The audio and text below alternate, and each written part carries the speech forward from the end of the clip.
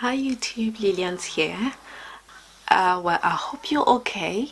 It's really, really late at night, so I just thought I should film this video um, before I go to bed.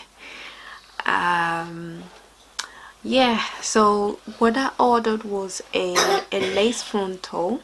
I bought that hair online on on AliExpress. It's a hair that I bought I bought from FabWigs so yeah that's what it's called. It's called FabWigs and it took about a week to arrive.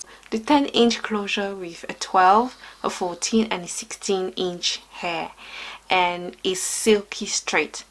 I must admit that it, it feels nice. I've straightened it.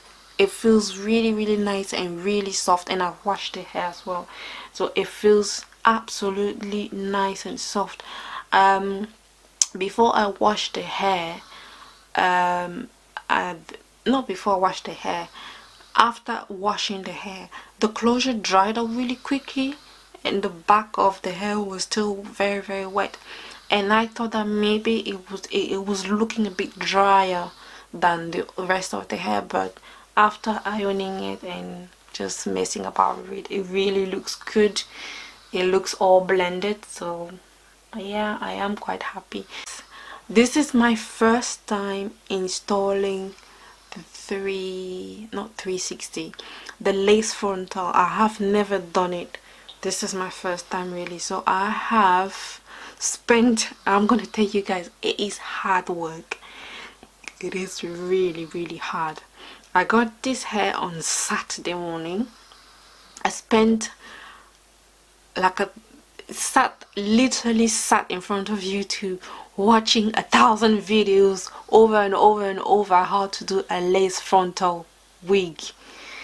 And this is what I came up with.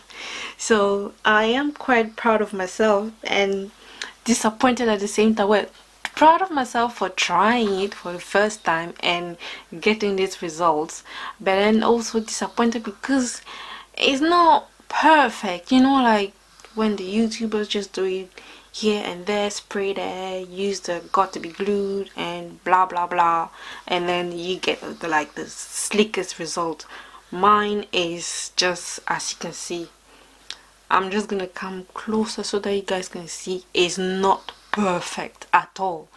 Bear with me i am a beginner and it's my first time really. So i'm just gonna come really really close if you can see um yeah so I've put the glue uh, around. I don't know whether you can see there and there and there. But the bit that I'm really disappointed is that I really don't know how to fix it. But overall it looks good. Sorry I keep looking at the screen of my camera. Um, so yes um, overall it's okay. Quite happy. Just this middle bit situation that we're having that I don't really quite understand. I don't know what to do. But yeah that's what I've that is that is it. I used just the Got2b Glued um, the yellow one I haven't got any spray or anything else. That's all I've used so and that's the result that I've got.